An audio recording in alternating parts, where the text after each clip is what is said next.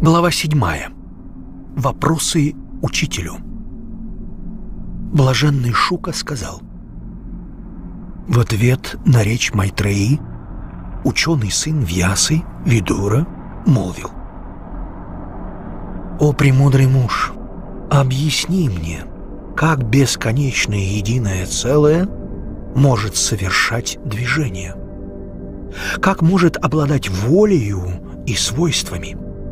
Как нечто, заполняющее собою все, способно воплощаться. Откуда взяться желанию у того, кто насыщен сам собою? Ведь он не дитя малое, чтобы тянуться к играм от неудовлетворенности тем, что имеет. Ты говаривал что высшее существо силою воли творит мир разнообразия, поддерживает его и сокрушает, дабы потом начать творить заново. Что побуждает его к действию? Уже ли недостаточно ему быть самим в себе? Сознание пребывает вне времени и обстоятельств – отчего малая его часть впадает в забытие и помрачение, отчего душа мнит себя смертной. Уже ли невежество сильнее духа? Уже ли тьма способна сокрыть свет, сознание приобрести свойства вещества?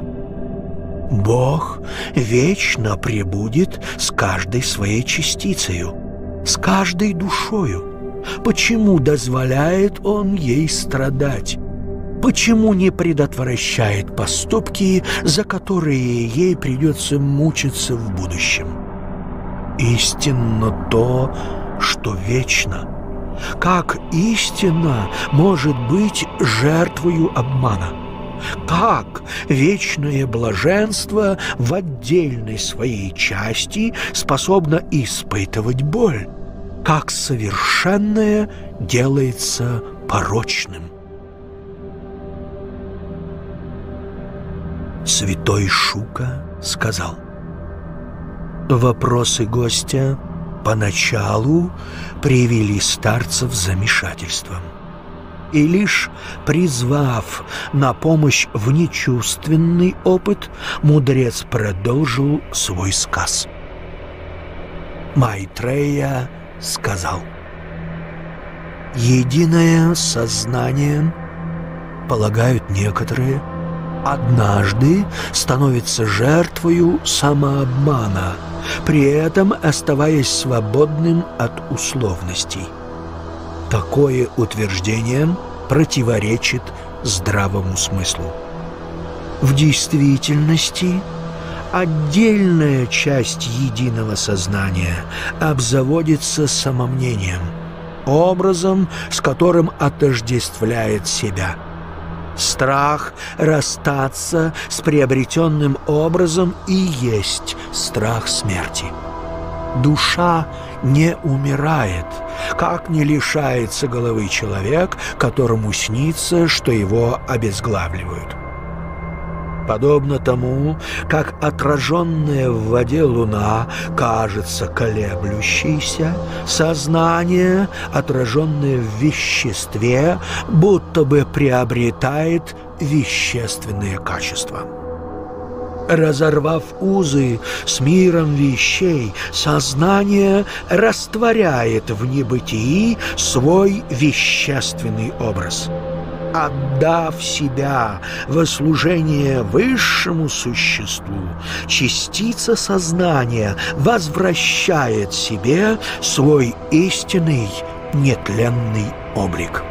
Лишь примкнув к высшему существу, чувства отдельного существа приходят в согласие и находят свое исполнение – и тогда только частица сознания избавляется от страха и тревог, подобно человеку, что пробудился от дурного сна.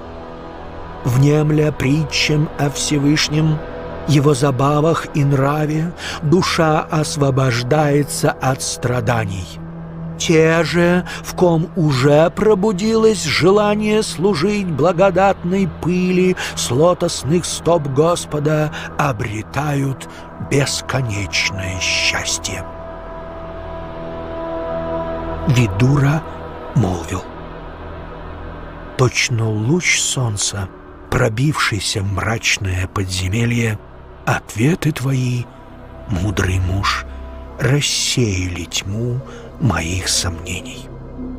Если страдания наши происходят от наблюдения за колебанием вещества, то все они — обман, наваждение. В здешнем мире счастливы либо откровенные глупцы, либо шагнувшие за границы разума. Все прочие принуждены влачить жизнь, полную страданий. Просветленный старец, ты открыл мне глаза на природу зримого мира. Образы, что окружают меня, лишь плод моего воображения. Я склоняюсь к Твоим стопам и молю не оставлять меня в моем шествии к истине. Ученые мужи говорят, что всякий, кто отдал себя во служение Кришне, врагу демона Матху, избавляется от страданий и обретает свое естество в обители счастья. Человеку, невоздержанному в страстях, не видать неомраченного бытия, где вечно правит Бог богов, владыка жизни. Сердцу не мил путь к истине, если одолевает его жадность к власти, богатству и славе. Итак, ты сказал, что, сотворив из совокупного вещества исполинское тело Вселенной и наделив вещество чувствами и орудиями чувств, Всевышний вошел в него как одушевленное начало, душа Вселенной, который возлежит на водах причинного океана, первозданного – вещества. Движимое одушевленным началом, вещество приобретает облики и переходит из одного состояния в другое. Тысячерукое и тысяченогое тело Вселенной заключает в себе множество ярусов, в коих обитают существа разного уровня сознания. У одушевленной Вселенной есть орудие чувств, предметы ощущений и десять жизненных ветров, что образуют три вида жизненной силы. Расскажи, как живет эта исполинская особь и какие задачи выполняют члены громадного тела. Как передается жизнь от родителя сыновьям, дочерям и внукам? Как удерживается сходство внутри семейств и видов жизни? Для чего саморожденный патриарх произвел на свет царей Ману, коих величают блюстителями закона Божьего? Расскажи мне о них и их потомках. Поведай о ярусах Вселенной, что расположены выше и ниже Земли, об их величинах, а также о величине и очертаниях Земли. Как произошли на свет твари ходячие, ползучие и летающие, люди, боги, звери, птицы, гады. Почему одни вынашиваются в чреве, другие созревают в яйце, третьи произрастают из плода в земле? Поведуй о саморожденном Брахме, Вседержителе Вишну и Всеблагом Шиве, что заключают в себе три состояния природы. Как высшее существо воплощается в зримом мире и в чьем обществе предается своим блаженным играм. Расскажи о сословиях людей и духовных укладах, о сословных нравах и обязанностях, о достоинствах их и пороках – как произошли на свет мудрецы, хранители священных преданий. Какие есть виды жертвенной деятельности и как она совершается. Что значит единение с единым путем действия, отделения его от стихий, свершения таинств и поминания о нем. Почему к единому Богу ведет такое множество дорог и как найти наиболее годную для себя? Откуда берется противление Богу и какова судьба богоборцев? Чем чревато кровосмешение сословий, как душа перевоплощается в следующее тело, от чего душа воплощается в разных видах жизни, как это зависит от состояния ее сознания. Священное слово гласит, что первостепенным для человека является исполнение долга, имущественное благополучие, чувственное удовольствие и освобождение. Каким трудом лучше всего добывать себе средства к существованию.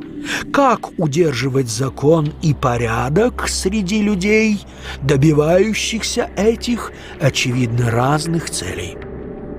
Как появились на свет родоначальники Вселенной, где обитают они ныне и как человек должен почитать их? как звезды и прочие небесные тела соотносятся друг с другом, как исчисляется время в разных ярусах Вселенной. Что пользы человеку от делания добра ближнему? Что пользы ему от воздержания? Что лучше жить в миру, окружив себя заботами, или отречься от земных дел? На кого уповать человеку в час смертельной опасности? Что есть долг человека и закон Божий? Какая польза Богу от исполнения нами Его законов? Вероятно, не все вопросы я задал тебе, мудрец, потому доверяю тебе самому решить, что будет полезно мне знать в поиске истины, а что лишь смутит мою душу. Из каких начал состоит Вселенная и что происходит со стихиями во время всеобщего разрушения? Кто остается с Богом, когда мир погружается в небытие? Чем занят он в промежутках между уничтожением и сотворением мира. Каково место Бога и отдельных душ в пределах сотворенного мира? Что есть природа? Как появились на свет притчи, святые предания? Какое место занимает учитель в жизни человека? Каковы должны быть отношения духовного воспитателя и ученика? обитель Бога, его запредельное бытие мы представляем себе так, как живописуют ее в старинных преданиях просветленные мужи. Но возможно ли узреть истину самостоятельно, без помощи кого бы то ни было? К тебе, Майтрея, я обращаю свои вопросы, ибо слывешь ты в миру мудрым провидцем и непревзойденным знатоком древних преданий. Ответом своим ты поможешь всем искателям истины. Ведь ни добрые дела, ни воздержание, ни жертвоприношение, ни умозрительное построение не могут сравниться с даром, что несет людям видящий истину. Блаженный Шука продолжал. Речи Видуры оживили в сознании мудреца образы запредельного мира. Потому заговорил он с великим воодушевлением. Начал он свой рассказ с того, как появилось на свет первое святое предание.